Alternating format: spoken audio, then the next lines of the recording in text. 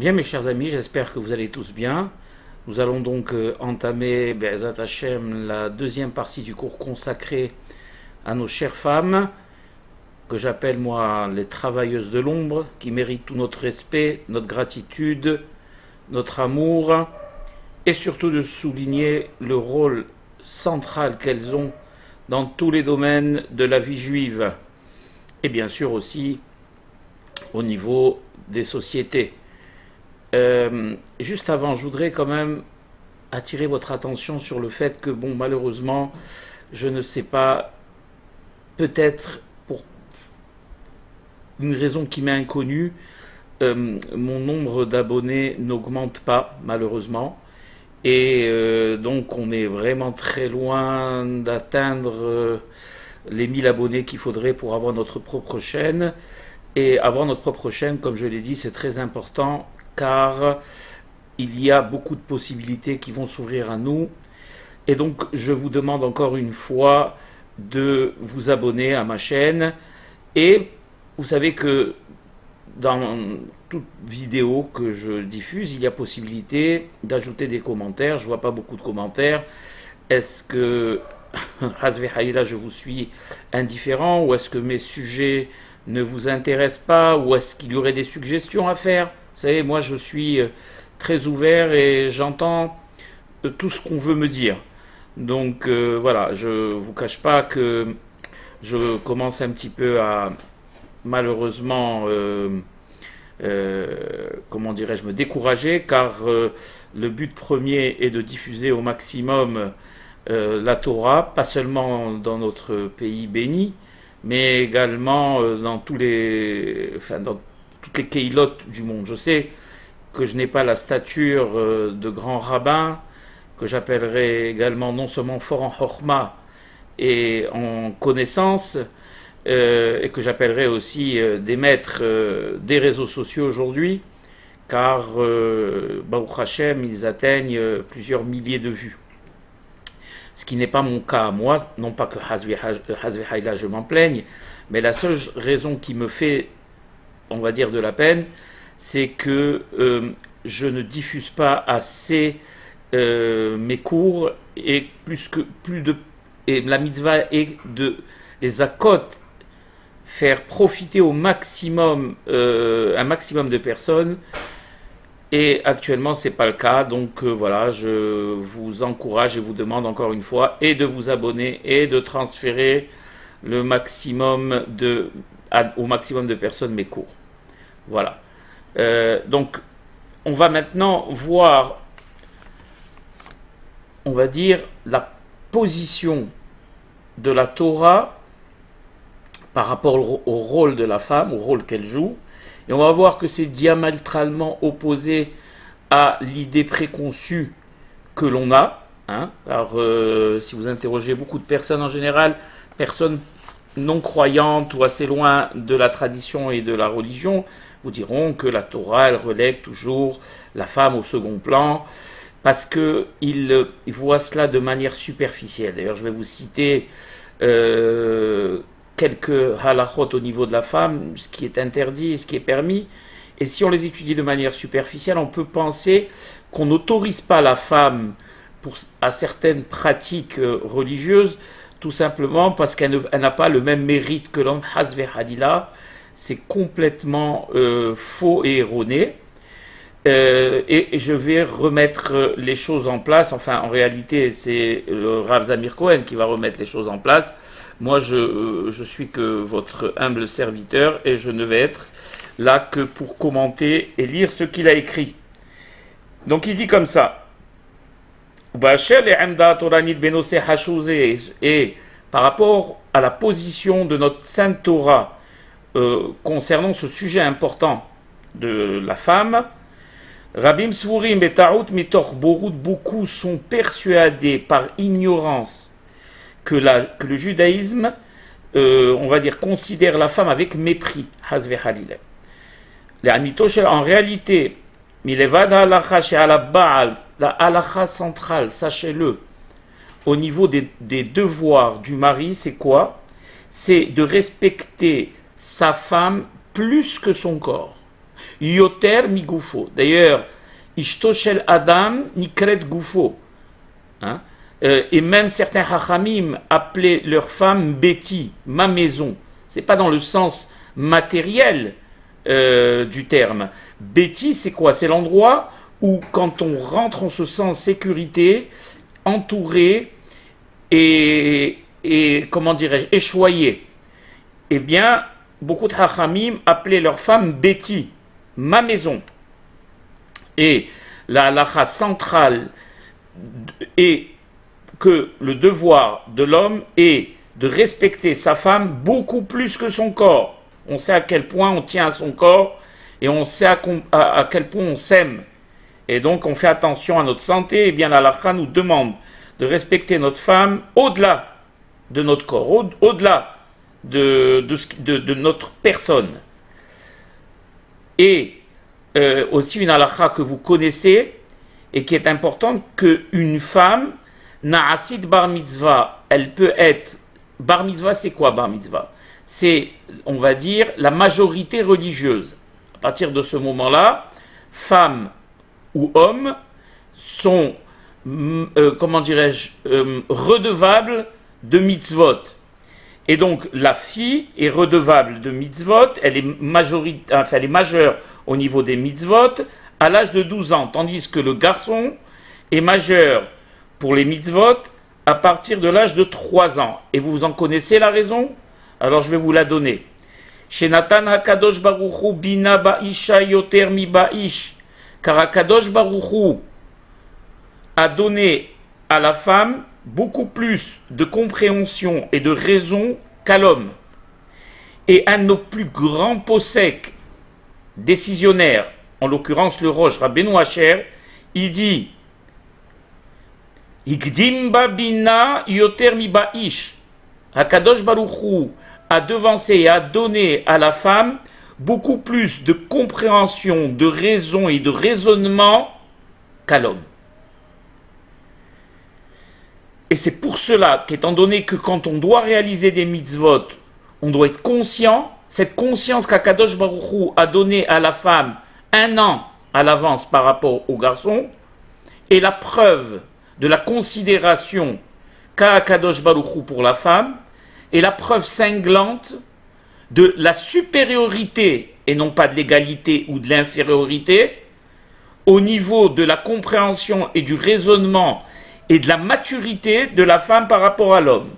On continue, on dit que les mar, les nevona, la fille devient raisonnable un an après euh, un, an, pardon, un an avant le garçon, et elle est considérée comme, quelqu'un dont l'appréciation est égale à celle d'un adulte, de quelqu'un de majeur. Écoutez bien cette halakha. D'ailleurs, cette halakha a des conséquences très importantes au niveau des nedarim, des vœux. Quand quelqu'un fait un vœu, sachez qu'il ne peut pas se défaire de ce vœu euh, comme cela. Parce que, euh, comme il y a marqué dans la Torah, Shelo euh,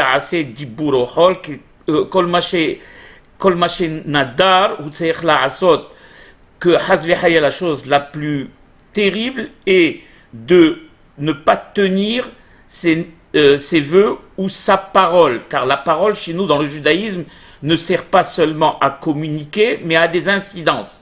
Le cours n'est pas approprié pour que je développe cela. Tout simplement que quand on, a fait un éder, qu'on a prononcé un éder ou un vœu, eh bien ça a un impact dans les mondes supérieurs.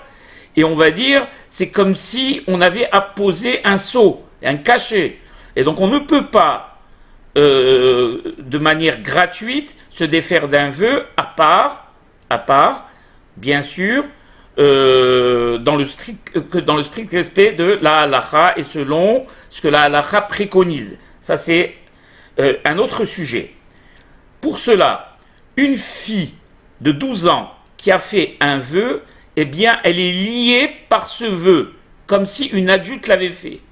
Tandis qu'un garçon de 12 ans qui fait le même vœu, ce vœu est nul et non avenu Et il n'est lié par rien. De là, on voit que la fille a préséance sur le garçon au niveau de la conscience, de l'appréciation et de, des vœux qui sont quelque chose de fondamental et de très important dans le judaïsme. Donc en conclusion, la fille n'est sûrement ni inférieure ni égale, mais supérieure à l'homme dans ce domaine-là, qui est un domaine extrêmement important. Et d'ailleurs, il y a euh, des halachot, euh, un nombre euh, très important de halachot concernant les vœux, la manière de, les, de s'en défaire, etc., etc., etc. Autre chose, si par exemple, je vous donne ici au niveau de la halakha ce qui est préconisé, il y a au tribunal deux, deux plaignants séparés, hein, un plaignant femme qui attaque quelqu'un d'autre sur un sujet, et un autre plaignant homme qui attaque quelqu'un d'autre sur un autre sujet. Eh bien, le juge, je parle d'un beddin bien sûr euh, religieux de Torah, un beddin euh, de halacha, doit devancer, doit devancer le jugement de la femme, même si c'est elle la plaignante, et même si c'est elle qui est l'instigatrice de cette plainte, par rapport au, second plaignant qui est l'homme. Pourquoi? Alors écoutez bien, pourquoi Mishum à cause de la grande sensibilité de la femme, sa honte et sa pudeur est supérieure, est importante, et elle, on va dire, et cela ne lui sied pas de se trouver dans un tribunal. C'est-à-dire que sa sensibilité est tellement grande que plus on est rapide plus on la, on devance son jugement, et plus vite elle sortira, et mieux ce sera. Pourquoi? Parce que la, Torah a analysé profondément le caractère de l'homme et le caractère de la femme, et il a jugé que la femme étant beaucoup plus sensible, beaucoup plus pudique, de manière naturelle, je parle, que l'homme, il est donc important qu'elle reste le moins possible au tribunal. D'ailleurs, tout cela est ramené dans, dans Yebamot, Masechet Sanhedrin, le Ramban, et le, pardon, le Rambam qui ramène tout ça. Aussi également, un homme et une femme qui sont mendiants et qui viennent quémander une tzedaka, de l'argent, de la nourriture, des habits. On a le devoir de devancer, de donner à la femme en premier et ensuite à l'homme. C'est pas comme on l'entend aujourd'hui euh, par galanterie. La Torah, elle est beaucoup plus galante que la galanterie que l'on connaît, qui est basée sur des règles humaines. Parce que même la galanterie est relative. La Torah, dans son jugement profond et dans sa grande sagesse, puisqu'elle nous vient, c'est la sagesse divine, a jugé que dans ce cas précis également, on devra devancer l'aumône à une femme, d'accord, par rapport à un homme. Comme la lacha aussi également interdit à ce que les femmes servent dans l'armée, etc., et sans rentrer dans les détails.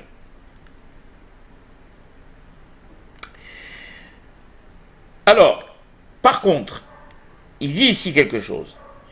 Barour, il est évident que la religion qui discrimine en mal la femme pour la religion qui discrimine la femme en mal et qui, elle, se targue d'être le, porte-drapeau de la féminité, qui est euh, l'Église catholique, on va le voir ici, euh, qui a déjà, elle, au départ, euh, on, dit, on a dit que, on dit que c'est la Torah qui n'est pas compatible avec la science, or c'est complètement faux. la première religion à avoir rejeté la science, c'est le catholicisme, et on le sait si on étudie cela, puisque euh, les scientifiques avaient, quand ils découvraient quelque chose, ils étaient euh, considérés comme hérétiques et on les mettait sur le bûcher.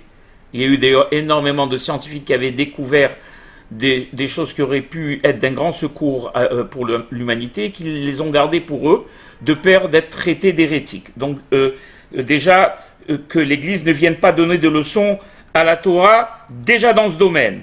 Également, Mishum Shelerov Adinut Ishtar.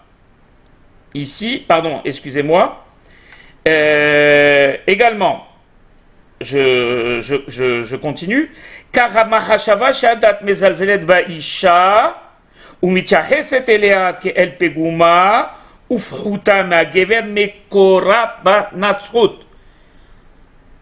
L'Église catholique a été la première dans son fondement, d'accord? Et même dans son essence, dans ses lois, dans ses textes, à considérer la femme comme étant un élément nuisible, provocateur, séducteur et tentateur, qu'on a même comparé longtemps au démon. Aujourd'hui, ça peut vous paraître étrange parce qu'on est au XXIe siècle, mais il y a au Moyen Âge et, au 6e, 7e, 8e siècle, c'était comme ça qu'on considérait la femme. La femme était considérée comme euh, un élément euh, très très nuisible, tentateur et comparable au démon. Euh, ça fait qu'il et il y avait même le doute, imaginez un petit peu, les cardinaux et les chefs de l'Église qui se réunissaient discutaient pour savoir, ils avaient le doute sur le fait est-ce que, la femme avait une âme ou pas.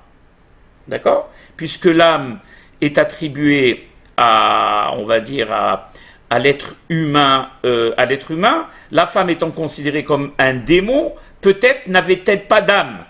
Ces, discussions existaient au sein de l'Église. Et en l'an 583, ici, il ramène le rabbin, il y a eu une réunion de tous les cardinaux et prêtres du monde entier, et il a été euh, décidé que la femme n'avait pas d'âme, et qu'il n'y a qu'en l'an 585, à, une voix, je crois, d'écart, qu'il a été admis que, la, que après un tollé euh, général sûrement de la société, que la femme avait réellement peut-être une âme. Donc vous voyez que la Torah qui a annoncé déjà dans Sefer Bereshit, que, euh, euh, qui a donné, qui a annoncé déjà dans Sefer Bereshit que la femme était au même titre que l'homme une créature de Dieu. Il y avait marqué, puisqu'on a expliqué dans le cours précédent, que Hakadosh Adam Betsalmo, quand on a parlé de la notion de Adam, la matrice, elle regroupait l'homme et la femme. Dieu a insufflé une âme, cette âme a profité à l'homme et à la femme, et c'est après qu'ils ont été séparés. Et donc déjà nous, hein, euh, il y a Tatka'ad Dorot, 974 générations avant la création du monde, on savait que la femme, bien évidemment, au même titre que l'homme, et sans aucun doute, était euh, douée d'une âme divine. Ça, je vous le dis juste pour que vous ayez une idée de l'avance et de la considération qu'a la Torah pour la femme. Je continue.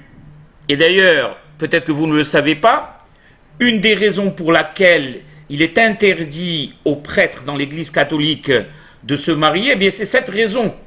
C'est cette raison. Euh, il est sûr que peut-être dans les, dans les, dans certes, on va dire parce que l'Église est divisée en plusieurs églises. Hein. Il y a l'Église orthodoxe, il y a l'Église anglicane, il y a l'Église mormone, il y a, enfin, il y a plusieurs sortes d'églises aux États-Unis.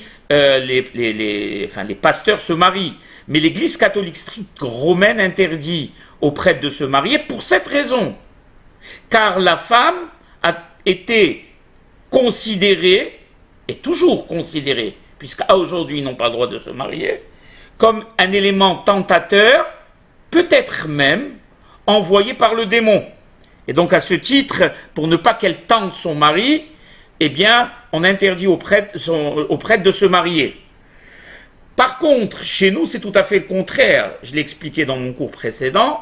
L'homme, on l'appelle palga de goufa, moitié de corps, bien qu'il soit lui-même euh, un, élément euh, parfait à part entière, on l'appelle quand même palga de goufa, car tant qu'il ne s'est pas marié, il ne s'est pas accompli. Voilà.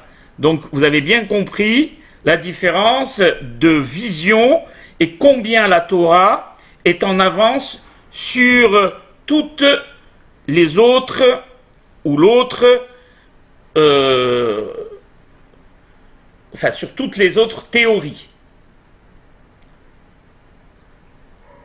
Malheureusement, euh, on dit ici que l'atmosphère générale de ce, de ce monde euh, est de penser que la religion en général euh, discriminant en mal la femme, euh, on a aussi attribué cette discrimination au judaïsme, ce qui est complètement faux et je voulais ici démontrer. Et surtout, et surtout, en général, pour ceux qui sont loin de la religion et qui veulent toujours des prétextes pour ne pas euh, y venir et pour ne pas rentrer dans le sein de, du clan Israël au niveau des Hukim et des Mishpatim et de la Torah, euh, c'est très facile de trouver toujours des prétextes. Alors, pour les femmes qui ne veulent pas être religieuses, elles trouvent toujours comme prétexte que la religion est machiste et que la femme n'est pas mise en avant. Et sur quoi elles se basent sur, les, sur ce qui est interdit à la femme. Mais ce n'est pas, on va le voir, ce n'est pas interdit parce qu'elle est inférieure à l'homme. C'est interdit parce que ça ne lui sert à rien au niveau de son accomplissement. On va voir ici ça tout de suite. Isha ena merida, la femme n'a pas le droit de témoigner, pas de, pas de toutes sortes de témoignages. On va voir dans les dîners mamonotes, dans les, dans les, dans les, tout ce qui concerne euh, les, jugements euh, pécuniers et euh, d'argent. Elle, ne peut pas être nommée à un poste de pouvoir. On entend, quand on entend poste de pouvoir, c'est juge, par exemple, pas, pas de Beddin, euh, ce qu'on appelle en Israël aujourd'hui, je sais pas comment ils appellent ça, Beddin Gavoa, Tzedek, qui n'est rien, qui n'est absolument rien. On parle d'un Beddin religieux. Elle n'a pas le droit, bien sûr, d'être nommée comme juge. Euh, et d'autres pouvoirs. Elle n'a pas le droit on n'a pas de, reine, nous, euh, au sein du, du Ham Israël.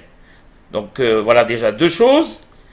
elle n'a pas, elle est exempte de l'étude de la Torah.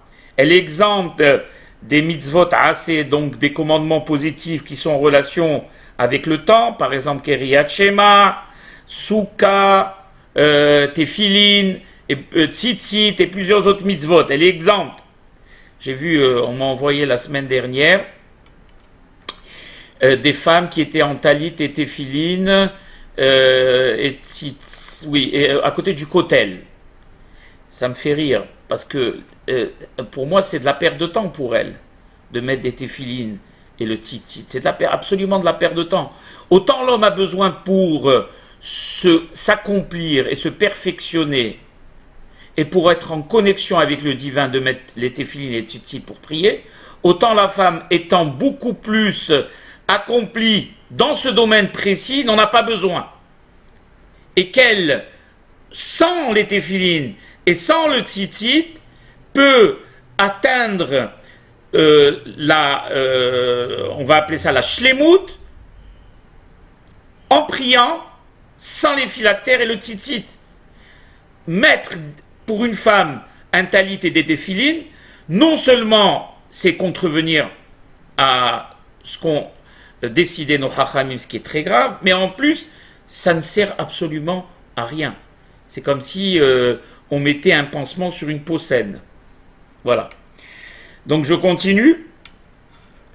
Euh, mais pourtant, malheureusement, étant donné que on ne comprend rien à la Torah et qu'on mélange tout et qu'on veut et qu'on pense qu'on discrimine la femme parce qu'on n'a rien compris à la, euh, profondeur de ces mitzvot là, par exemple si on cite que le tzitzit et les téphilines, en quoi est-ce que elles, euh, elles sont importantes pour l'homme et comme on veut maintenant que la femme soit l'égale de l'homme, alors on veut rendre la femme l'égale de l'homme, même dans les choses qui ne concernent pas la femme.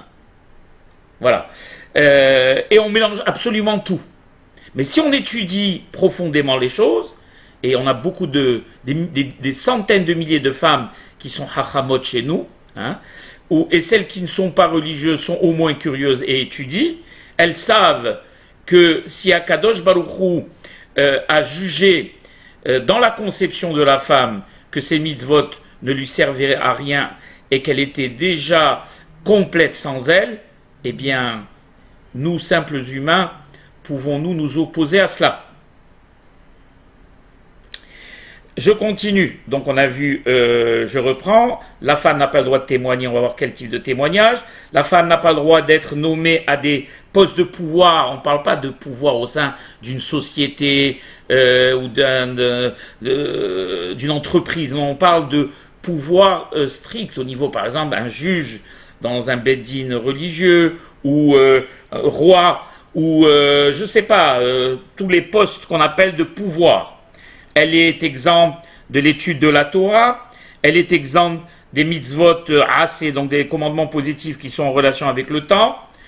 Elle est euh, aussi exactement, si on lit euh, de manière superficielle certaines sentences de nos hachamim, on va que Dieu en préserve dénaturer la femme. On dit que Nashim Datan Kala, c'est quoi Nashim Datan Kala? Ça veut dire que la femme a un esprit léger. On va comprendre ce que ça veut dire. Et aussi une sentence qui est euh, difficile à comprendre et qui d'apparence peut être euh, euh, peut être synonyme de comment dirais-je de mépris, ce qui n'est pas le cas. Il y a marqué il y a dix mesures de parole qui sont descendues dans le monde et la femme en a pris neuf. Quand on entend ça, on pense que la femme caquette toute la journée sans raison. On va voir que, que la, parole a son importance et si Akadosh Baruch a décidé que 9 dixièmes de, euh, de la mesure de parole qui est descendue dans le monde doit aller à la femme, c'est pour une raison très précise.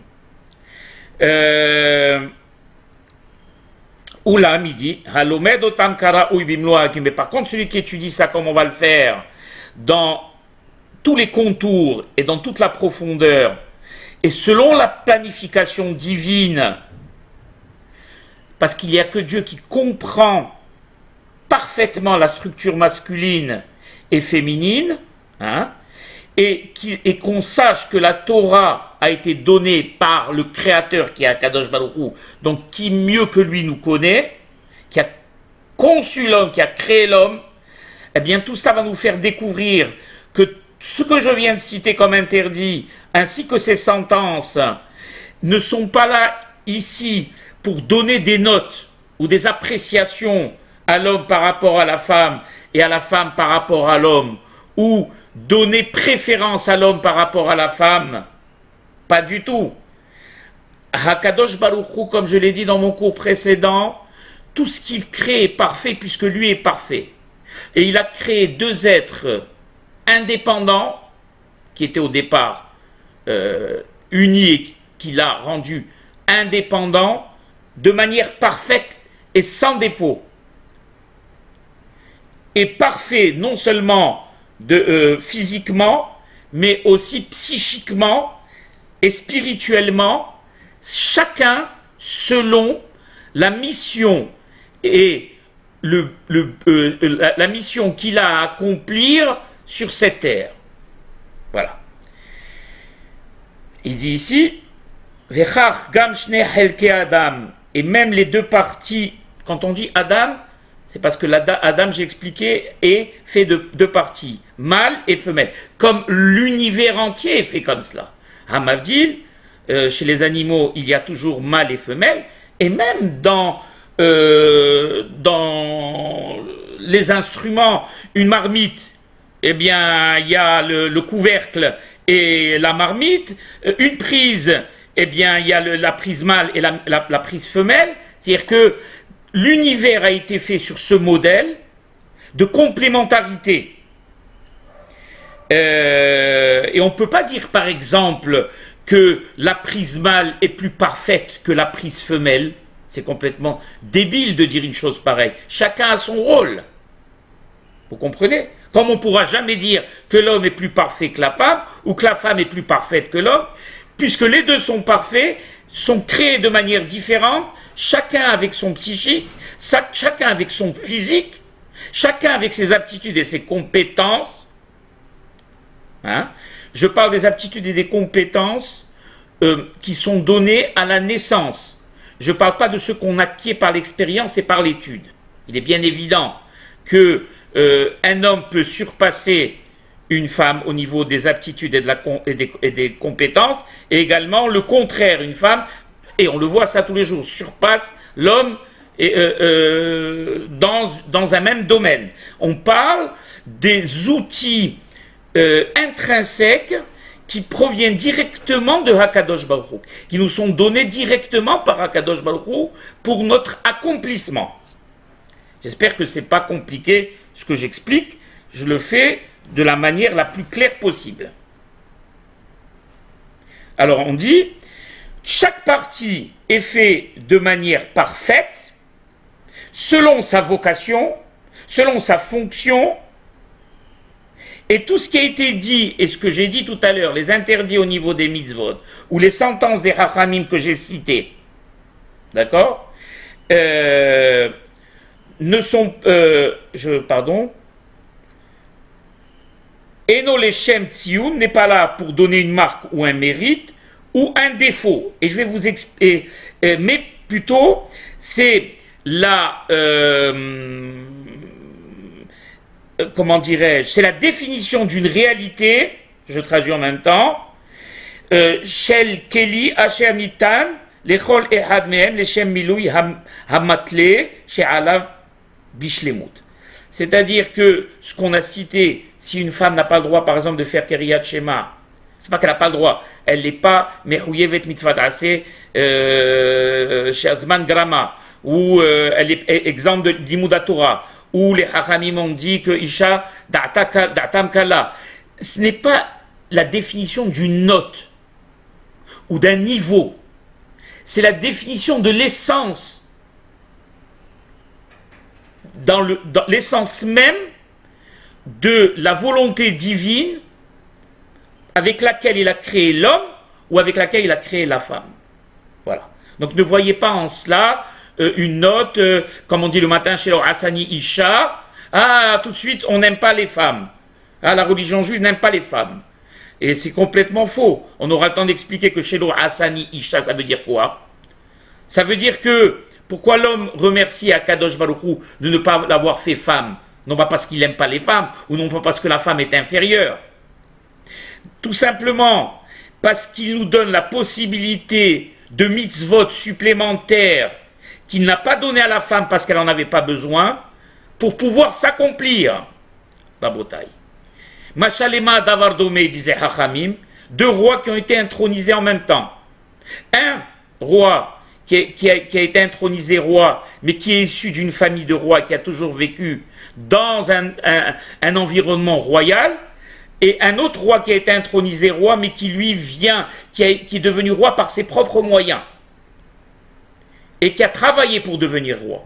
Le jour de leur intronisation, le premier dit, je te remercie Seigneur de m'avoir fait roi, comme la femme dit, je te remercie Seigneur chez Asani Kirtsono, c'est-à-dire que je n'ai pas eu besoin de travailler pour m'accomplir au niveau spirituel, et l'homme, c'est celui qui a eu besoin, comme le roi, de travailler pour atteindre la royauté, lui remercier Akadosh Baruchou d'avoir fait en sorte qu'il devienne roi par le travail qu'il lui a imposé, et donc par les mitzvot. Donc vous voyez, quand on réfléchit, on étudie, c'est absolument pas du tout la même chose.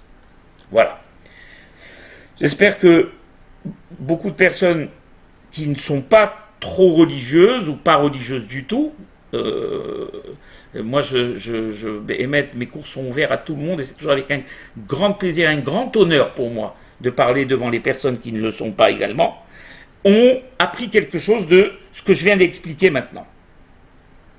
Et d'ailleurs, je vais vous donner un, un exemple concret qu'on interdise à une femme de faire telle et telle mitzvah n'est pas un défaut ou un manquement. Pas du tout. C'est comme si, par exemple, on organisait, euh, euh, c'est comme si on reprochait un chirurgien de ne pas avoir de marteau, ou qu'on reprochait un maçon de ne pas avoir de scalpel. La bouteille. Le fait qu'un maçon n'ait pas de scalpel, ce n'est pas un défaut. Le fait que le chirurgien n'ait pas de marteau, ce n'est pas un défaut. C'est comme si on organisait un concours où il y aurait un musicien, par exemple Beethoven, un concours de musique, où il y aurait un musicien Beethoven, d'accord, et un dessinateur, on va dire Chagall. D'accord? Alors, euh, euh, c'est une injustice pour qui si on organise un concours de musique? Eh bien, l'injustice serait pour Chagall. Comme si on organisait un concours de peinture et qu'on invitait Beethoven et Chagall, l'injustice serait maintenant pour Beethoven. Pourquoi? Parce que on ne peut pas comparer l'incomparable. Beethoven est musicien, Chagall est peintre, ce sont deux compétences complètement différentes, parfaites, chacune, de manière indépendante. Et on ne peut pas les faire concourir tous les deux, parce que ça n'aurait aucun sens, comme on ne peut pas faire concourir un homme et une femme dans le domaine de la halakha, parce que ça n'a aucun sens. C'est ce que j'expliquais tout à l'heure il y a peut-être 5 ou 10 minutes, au niveau des femmes qui veulent absolument mettre les téphilines et le tatlit et qui euh, euh, se font appeler femmes avant-gardistes. Elles, défendent, on va dire, elles défendent euh, l'honneur, l'honneur bafoué des femmes, comme celle aussi qui voulait l'histoire du cotel, enfin vous savez, vous êtes au courant de tout ça. Je, continue.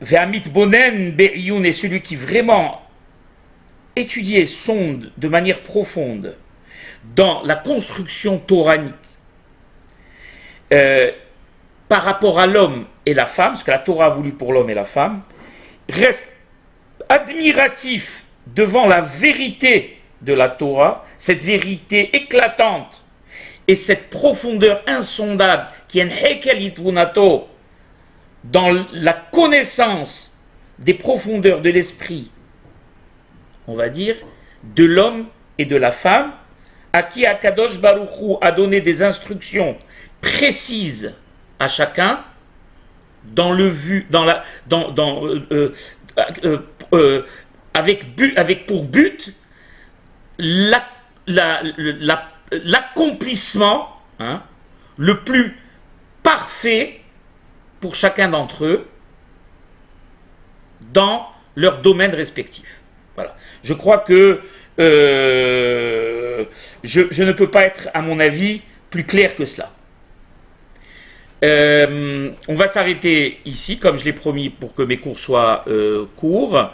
Et Be'ezat Hashem, on, va, on va commenter, et vous allez comprendre pourquoi, dans le prochain cours, la femme n'a pas le droit de témoigner, la femme n'a pas le droit d'être nommée euh, à un poste de pouvoir, encore une fois, entre parenthèses, un poste de pouvoir au niveau religieux. La femme est exempte des études, de l'étude de la Torah et des mitzvot assez Bazman, chez Grama, et, les sentences dont on a parlé, Ishtam Datan Kala, et Asarakabim, Shel Dibo Yadal Veisha, Natla Tisha. On verra ça, tout ça, Be'ezat Hashem, le cours prochain. J'espère que j'ai été clair et que vous en avez profité. À bientôt, mes chers amis.